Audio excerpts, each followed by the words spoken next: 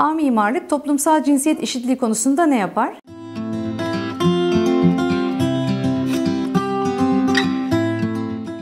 Kurucusu olarak 14 e, yıldır Kadın Girişimciler Derneği KAGİDER'in üyesiyim.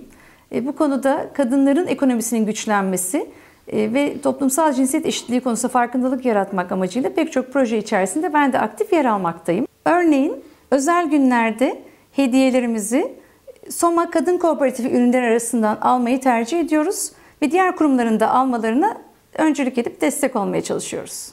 Onun dışında A mimarlık olarak ekip arkadaşlarımızı da pozitif ayrımcılık yaparak kadın mimarlar arasından seçmeye özen gösteriyoruz. Doğada yaşayan kadın sanatçılarımızın üretimlerini dekorasyon projelerimiz içerisinde kullanmaya özen gösteriyoruz.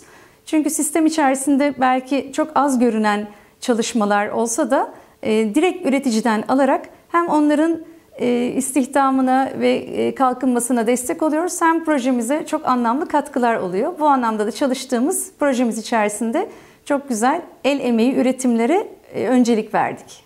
Mimarlık uzun süreçli bir yolculuk.